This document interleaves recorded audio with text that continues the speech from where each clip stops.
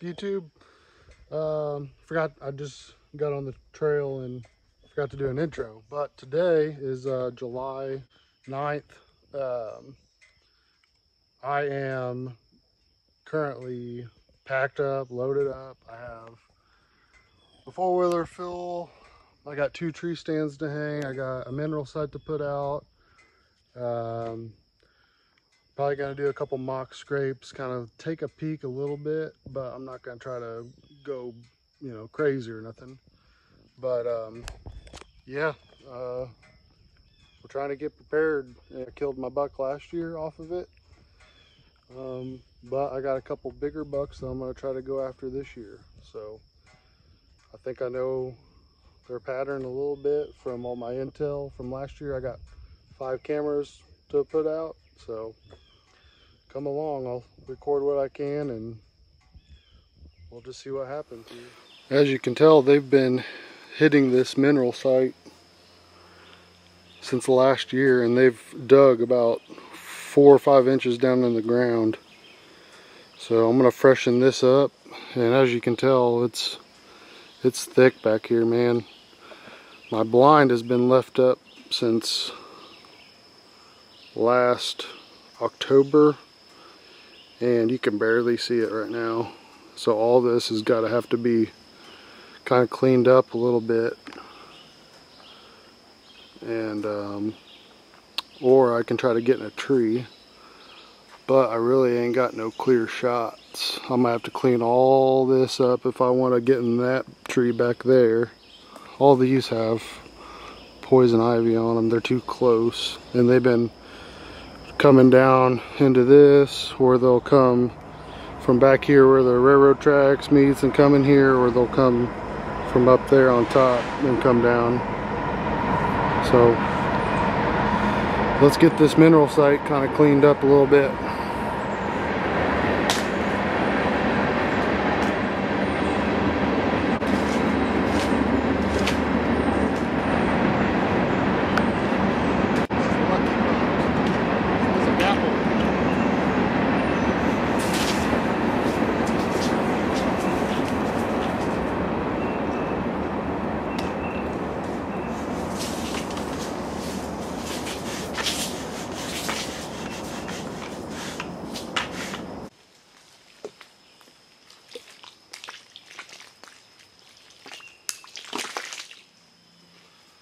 got this big old mineral lick, rock, rock, mineral rock. And I usually just place it right in the middle, like that, and they'll just work it down. Not so, not so much for the bucks. I mean, the bucks will come in here and hit this. As long as I can get the does to stay, this is the center of the highway they come in from all different directions, so as long as I can keep the does coming, but I need to decide if I want to try to hang a set in here. I really ain't got no trees, that's the problem. If I get too high, I won't be able to see them come in.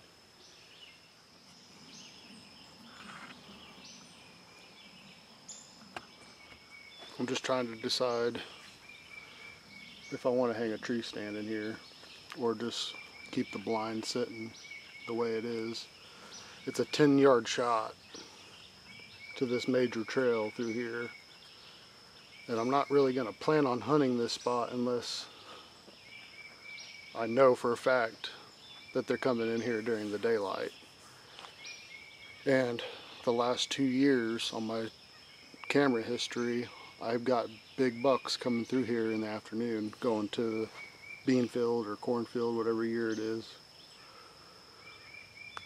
So I think, I don't know, I'm having a hard time deciding. I think I'm going to hang my trail camera on this tree this year because I had it behind us and uh, I just didn't like the angle of it. So I think I'm going to put it here. I like to put sticks behind there to get it angled. So now I got it pointed back that way so there's a trail that runs right here. So I'll be able to get that, get them coming from this side as they come this way, I'll be able to get them here. Won't be in direct direct eye line of them either because it's about six foot off the ground. Uh, four more cameras to put out. I'm gonna go up here on the ridge and top and maybe throw a couple up there.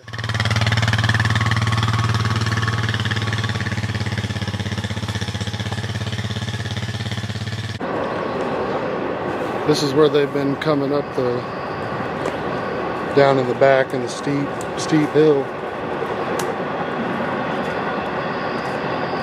There's doe tracks.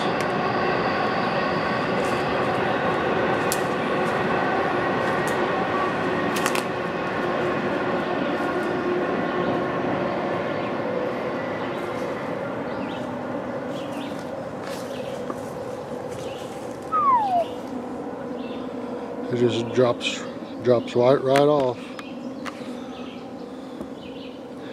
They've been bedding they've been bedding down in there. Looks like they got a pretty good trail right here. Side hill in this. I might put a camera right here just to see what's cruising this. Maybe this is just a really good ambush spot. Got a pretty view in the winter too. Yeah, there's one right here. I don't know if you guys can tell.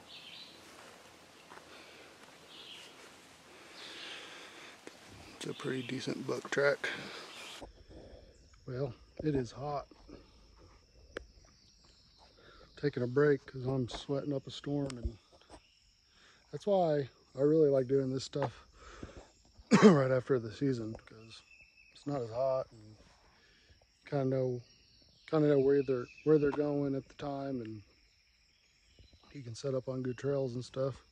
You can scout, which I do, but I haven't done a good job the last couple years. But I'm about, you know, I'm about 20 feet off the ground. I got very little cover up here. I had to pick a pretty open tree, but I got this big guy here and this big guy here, and the trail, the trail is running right, right through there. So it should just be a nice little 10 yard shot. I have a whole lot of cover up here, but I got these big boys right here to kind of help break me up and kind of draw. Maybe I'll be able to draw uh, while they're walking past it or something. But I had a camera down here last year and I had some big, probably one 140s, 150s cruising through here every morning, coming back to bed. So I got one more tree stand to set up on top of the ridge. So maybe I can catch them coming to the fields at night. This will be my morning spot. I'm gonna have to take that trail out and walk all the way down the railroad tracks. I'm gonna have to walk a long way to get to this spot in the morning, but I don't know. Access is key and picking the right tree is key and I don't know. I uh, I'm excited for this year. I'm ready to kill something.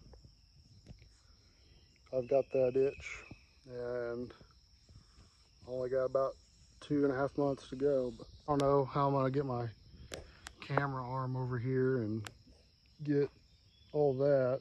I'll have to play with that. I don't know if I can get it lower or maybe get come around this side and and put the camera arm right here and then so I can shoot that way let me know in the comments what kind of camera arm you guys are using. Um, obviously, I think I'm going to go with the fourth arrow, but I'm having a tough decision deciding between the micro satellite and the, um, the Talon one. Um, they're both three pieces. One's a little bit heavier duty and it has a 360 mount and the other one just has the uh, little mount. I'm trying to go as light as I can and not blow the budget out of the water, but I need a good camera arm in two months because mine shot the crap and I got this nice new camera and I need to uh, have a camera arm to put it on. All right, on to the next. Well, that's gonna wrap it up today. I got one set hung and I got that mineral, uh, mineral site all uh, freshened up. But um, I kind of wanted to do like a little a gear review real quick. I got something new. It just came in the mail, so let me pull that out real quick while we're sitting here talking. This is the new pack for the year. This is the Mystery Ranch Pop-Up 40. And uh, I'm really excited to get this thing out and check it out and uh, put it to the test this year. Um, I haven't really did a review on what I was using the last year or so, but this is my other pack. This is the this is the Eberlestock Bandit, and then I have the hip belt, and then I got their big MOLLE bag for my rappel rope. So I think I'm gonna move the rappel rope bag over to the move the rappel rope bag over to this Mystery Ranch pack and um, I'm excited for this because I needed a way to be able to guarantee that I would have the pack necessary to pack out an animal. A lot of times I'm by myself. I don't have, I mean, Scott and Jake, Justin, they'll all drop drop everything on a dime to come help me, but um, just for the peace of mind, if I ever need to pack something out, I can't pack it out with that Eberlestock So if you guys haven't checked out Mystery Ranch, this is uh, this is a sweet bag because it's a uh, it's a frame style pack that uh, that allows you to pull the bag away from the frame to put a meat bag in there. Um, and I'm really excited to just kind of fit this one out with my one sticking equipment and um, I think it's going to be a really awesome pack.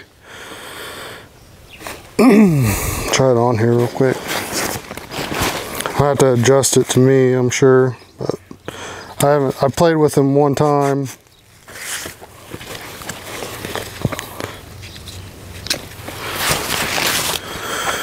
Played with him one time at Scheels. I'm a bigger guy.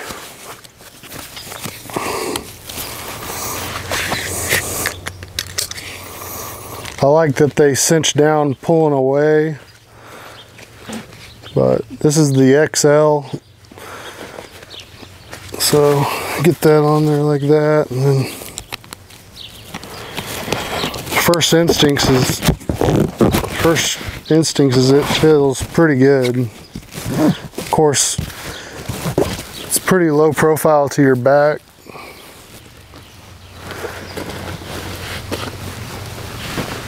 Feels pretty good. I'm excited to get this thing out and fully pack it up. And what I also like about it is if I don't want to take in my um, my saddle platform and I want a tree stand hunt, I'll be able to run my XOP stand between the pack and the frame. That'll give me another, just another tool to uh, help, you know, get on these deer and get in a situation where I can be successful. So first first impressions though it feels really good. It fits in every it fits in every little nook and cranny and feels really good around the top of my pack and my bag and I like that it's not hanging past the, my pant line. So I uh, let's close this one out guys. I like I said in my last video got two months till Missouri opener. Are you guys ready? Because I sure am. I plan on trying to get on a decent buck, you know, early. Trying to get out here and trying to get some stuff done and stuff that I've been putting off. And it's always better to be late than never. So